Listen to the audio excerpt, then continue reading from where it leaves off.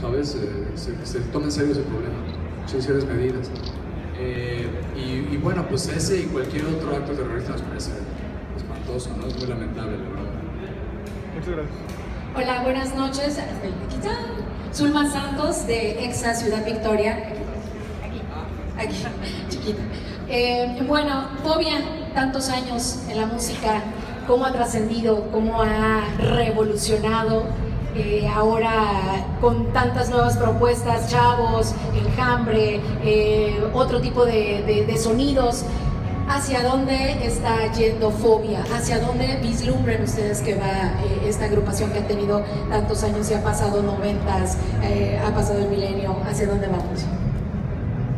Yo creo que algo que, que siempre hemos hecho en Fobia es vernos a nosotros mismos como si fuéramos público.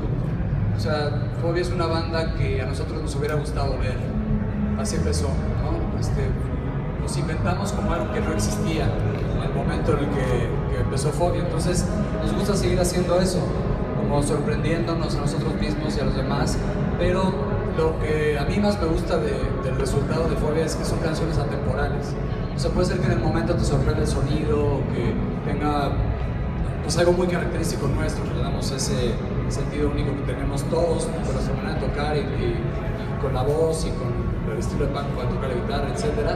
Pero sobre todo creo que las canciones van trascendiendo y ahora lo que ha pasado es que hay nuevas generaciones que disfrutan mucho de Fobia, ¿no? Vamos a, vemos a la gente en los shows es muy joven. Entonces eso es la gran ventaja de que las canciones sean atemporales, que van rompiendo la, brecha de las barreras generacionales. Eh, y, disco a disco nos gusta ir irnos sorprendiendo, ¿no? Ser como sin, grandes pretensiones, nada más lograr canciones buenas, pero darles un toque, un sonido característico nuestro que nos guste y que sorprenda.